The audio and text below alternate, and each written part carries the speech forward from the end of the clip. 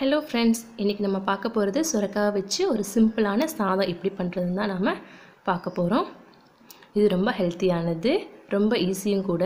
ஒரு டென் மினிட்ஸில் நமக்கு எதாவது லஞ்ச் வேணும்னா டக்குன்னு நாம் செஞ்சிடலாம். அதை எப்படி செய்யலான்னு போய் பார்ப்போம்.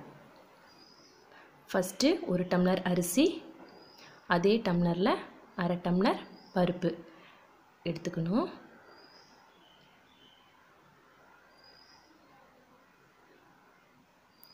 அதை நல்லா தண்ணி ஊற்றி கழிஞ்சு ஒரு ஆஃப் ஊற வைக்கிறவங்க ஊற வச்சுக்கலாம். இன்ஸ்டண்ட்டாக செய்யணுங்கிறவங்க உடனே கூட செஞ்சுக்கலாம். ஊற வச்சு செஞ்சால் கொஞ்சம் நல்லாயிருக்கும் தேவையான பொருள் வெங்காயம் தக்காளி பச்சை மிளகாய் ரெண்டு கருவேப்பு கொஞ்சம் கொத்தமல்லி தழை கொஞ்சம் புதினா. அதை நான் பொடியாக கட் பண்ணி வச்சுருக்கேன்.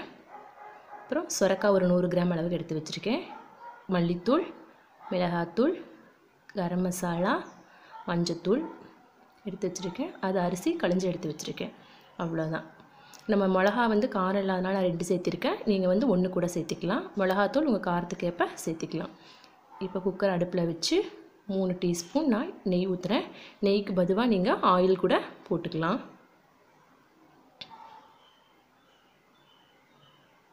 நெய் போட்டால் கொஞ்சம் டேஸ்ட்டாக இருக்கும். சாதம். மூணு டீஸ்பூன் நெய் போட்டாச்சு. நெய் கொஞ்சம் காயட்டும்.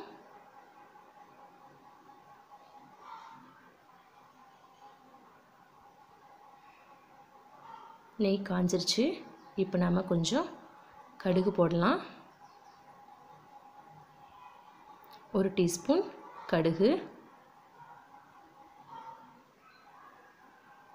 ஒரு டீஸ்பூன் சீரகம். கடுகு நல்லா வெடிக்குது. அதுக்கப்புறம் ரெண்டு பச்சை மிளகா. நான் காரம் இல்லாதனால ரெண்டு போடுறேன். காரமான மிளகாயாக இருந்தால் ஒன்று போட்டுக்கோங்க. கொஞ்சம் கருவேப்பிலை. இது நல்லா வணங்கினதுக்கப்புறம் நான் ஒரு வெங்காயம் நல்லா பொடியாக கட் பண்ணி வச்சுருக்கேன். பெரிய வெங்காயம் அதை சேர்த்திக்கிறேன். ஒரு டம்ளர் அரிசிங்கிறதுனால நான் ஒரு டம்ளர் ஒரே ஒரு பெரிய வெங்காயம் சேர்த்திருக்கேன். இதே ரெண்டு டம்ளர் அரிசியாக இருந்தால் நீங்கள் ரெண்டு வெங்காயம் சேர்த்திக்கோங்க.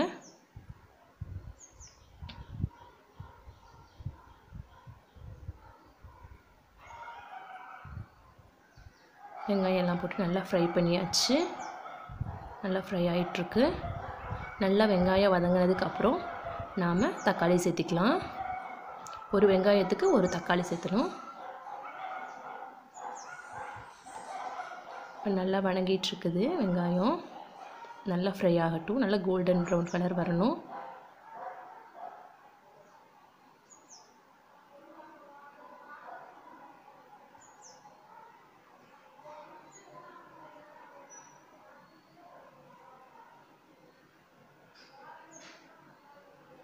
ஃப்ரை ஆயிடுச்சு. நல்லா.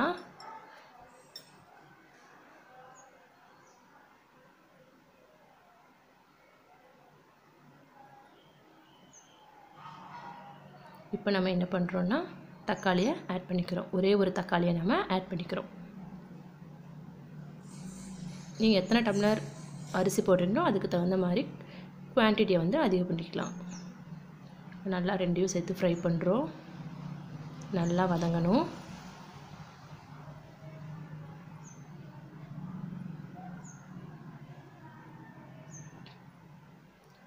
ஒரே ஒரு பிரியாணி இலை போடுறேன்.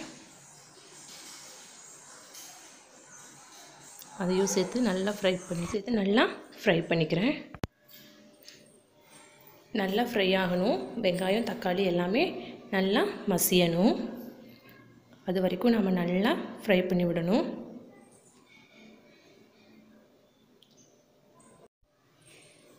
இப்போ நல்லா ஃப்ரை ஆகிடுச்சு இதுக்கப்புறம் நாம் இது கூட ஒரு ஸ்பூன் இஞ்சி பூண்டு பேஸ்ட்டை வந்து கலக்கணும். இஞ்சி பூண்டு பேஸ்ட் போட்டாச்சு. இதை நல்லா கலந்து விடணும்.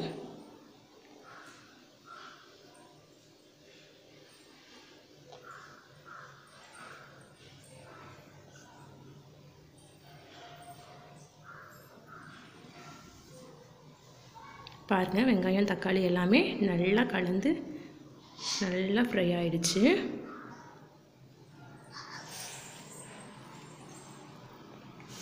அதுக்கப்புறம் நாம் வெட்டி வச்ச சுரக்காயை சேர்த்தணும் அதையும் நல்லா ஃப்ரை பண்ணணும். அது கூடயே நல்லா போட்டு கலந்து ஃப்ரை பண்ணணும். இது வந்து எங்கள் தோட்டத்தில் விளைஞ்ச சுரக்காய் வீட்டு தோட்டத்தில். நல்லா ஃப்ரெஷ்ஷாக இருக்குது அதுக்கப்புறம் நம்ம எடுத்து வச்ச மல்லித்தூள் மிளகாத்தூள் கரம் மசாலா மஞ்சள் தூள் எல்லாமே சேர்த்துக்கணும். மல்லித்தூள் ஒரு ஸ்பூன் மிளகாத்தூள் அரை ஸ்பூன் கரம் மசாலா அரை ஸ்பூன் மஞ்சள் தூள் சிறிதளவு எல்லாத்தையும் சேர்த்து நாம் நல்லா ஃப்ரை பண்ணி எடுத்துக்கிறோம்.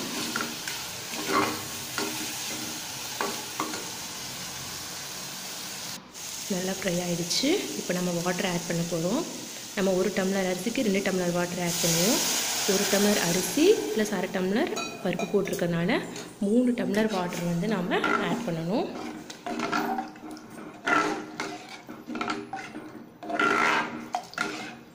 ஆட் பண்ணியாச்சு.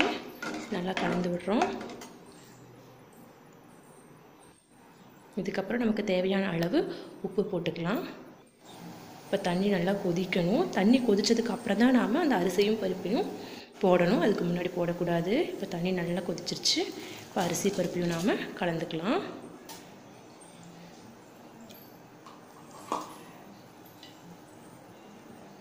அதுக்கு மேலே வெட்டி வச்ச புதினா மல்லித்தலை ரெண்டையும் நாம் சேர்த்துக்கிறோம்.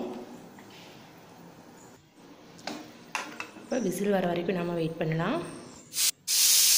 மூணு விசில் விடணும்.